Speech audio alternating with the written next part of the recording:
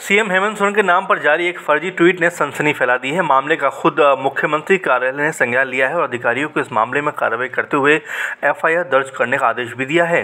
मुख्यमंत्री कार्यालय ने बाद में उस ट्वीट को फर्जी करार देते हुए इससे संबंधित निर्देश अधिकारियों को दिए हैं। मुख्यमंत्री के नाम से जारी फर्जी ट्वीट में बताया गया है कि राज्य में ओमिक्रॉन के कारण 6 दिसंबर से 1 जनवरी तक लॉकडाउन किया जा रहा है। इस दौरान लोगों को अपने घरों से नहीं निकलना है। मुख्यमंत्री कार्यालय ने स्पष्ट किया है कि ऐसा कोई भी आदेश जारी नहीं किया गया है।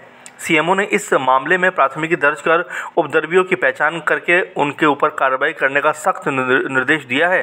इस मामले में मंत्री चंपई सोरेन ने लोगों को ट्वीट करके अपील की है कि कोई भी मुख्यमंत्री के फर्जी ट्वीट को फॉरवर्ड ना करे, अन्यथा वो कार्रवाई के दायरे में आ सकता है। चंपई के अनुसार शरारती तत्वों ने इस घटना को अंजाम दिया है। मुख्यमंत्री हेमंत सोरेन का आधिकारिक ट्वीट अकाउंट अब पूरी तरह सुरक्षित है। फ़िलहाल देखना होगा कि आने वाले टाइम में इस मामले पर क्या कुछ कहा जाता है। आईटीपी न्यूज़ रूम की रिपोर्ट।